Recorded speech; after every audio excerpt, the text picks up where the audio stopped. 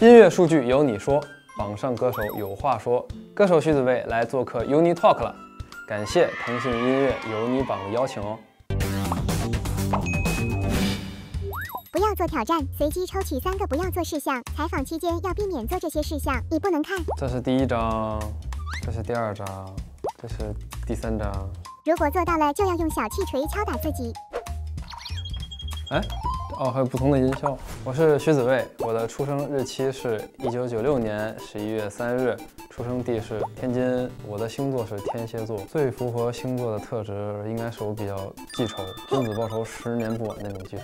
我的粉丝都管我叫子未或者是子微宝吧。我最近发行了我的第一张个人单曲，非常悲伤的苦情氛围的巴乐音乐，由威廉老师呃倾情为我创作的。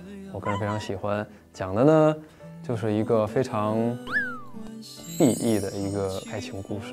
拥抱过去发生的一切，曾经美丽与爱情。如果在我余下的生命里还有意义，也只能是你。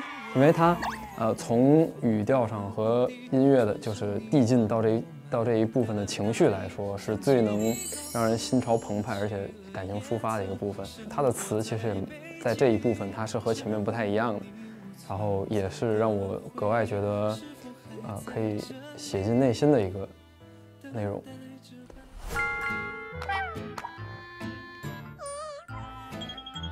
好难啊，这个这个好难猜。我觉得维里安老师，在我印象里，我听说他去好声音了，我的第一反应是，哦，他去当导师了，那还挺厉害的。结果一看他是去当学员了，我就觉得他简直是一点包袱都没有，一点架都没有。他本身的音乐造诣已经很高了，他还愿意去以一个学员的身份去再次唱歌给大家，我觉得真的是非常的敬业，而且难能可贵。再一次对维里安老师表达一下敬佩，是不是恩啊？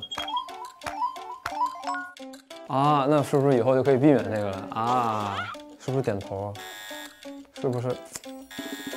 就还有这个，下次别猜了，不是吗？印象深刻的评价，还是看到很多我自己喜闻乐见的，就比如说大家夸我说这个这个情绪拿捏的比较好啊，比较容易产生共情啊。对对对对对，挑主要挑好的看。哎，这大家比较比较皮嘛。很正常，我就喜欢这样的网友，没没没有任何问题，咱们就看谁更有一点。哎，这个还真没看到，他是不是他是不是想借机敲一笔？借机敲，并没有这个外套啊。我感觉现阶段我应该还是女性朋友的听众多一些，男比女的话三比七。啊，真对了呀，跟我们学校当年那个男女比例差不多，这个就好难了呀。我觉得占比最多的应该是大学生吧。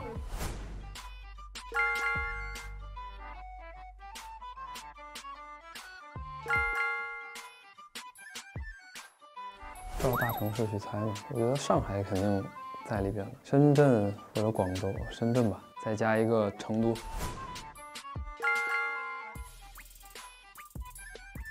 哦，还要顺序才对吗？深圳错付我了，深圳的那个朋友们。老师，啊，真是心心脏受伤了。哦，还有吗？哦，这个反问，我我我以为是那个你是不是傻那个那种反问。哦，就不能往回问，是这个意思？好吧，好吧。我徐子未秉持着诚实守信的原则来回应关于我的传闻，说说特有说服力？没有，他他在的，只不过最近发歌比较忙，确实是营业的事儿稍微的有点那个，跟工作正经工作相比，相相对的这个优先度被降低了一些。不是，我是那个很少发朋友圈的，就这次新歌我都没发，我都是看别人在发，然后去点赞，因为我觉得哎，他们给我发个圈，我还挺，对，还挺高兴的。这个好办，这个真的好办。就是我只要其实，在朋友圈里说一下，大家给点点赞，就是有任务，大家一般就来点了。哎呀，怎么发朋友圈来着？哦，点朋友圈，然后点上上面那个相机，然后加个狗头，懂了懂，没事，你就懂。发了，我这底下的上次分组，我给他到时候给我码掉，好吧？那个大家都有那个屏蔽家里人的习惯，在某些朋友圈发的时候，毕竟不想招一些不必要的麻烦。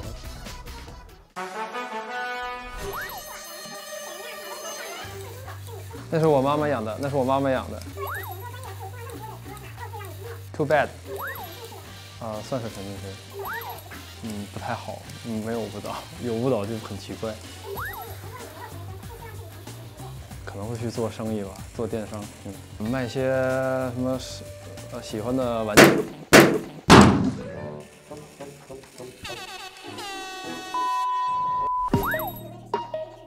我觉得这个过誉了，在我特别自然的时候呢，有的时候确实发挥还可以，有的时候紧张啊，或者说歌不熟啊，就经常会有一些翻车的情况出现。雨一直下。气氛不算融洽，我真的会有一定要唱的那个歌，就是如果之前没唱的啊，我会唱那个。输了你，赢了世界又如何？你曾渴望的梦，想我永远不会懂我。就唱这个，很随意啊，很随意。最近比较烦，比较烦，比较烦。无所谓，谁会爱上谁？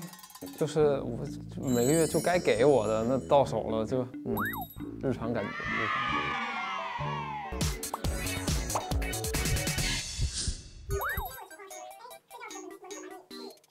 啊，还是蚊子更接受不了权威。经纪公司老板，这还有为什么？经纪公司业务面更广了，让我旗下所有艺人那个站一起拍个大合影，就显得我阵容庞大。耳机，隔壁节目主题曲吧，我觉得他们那个挺简单，真的真的，那个那个确实还好。我感觉女团舞它有一种就是那个就是妩媚的那个。那个感觉在里面，就是舞蹈这个东西对我来说最难把控的，其实就是那种气质啊，包括那些范儿，接纳一个更难的这个这个味道，这个感觉，我觉得太有挑战了。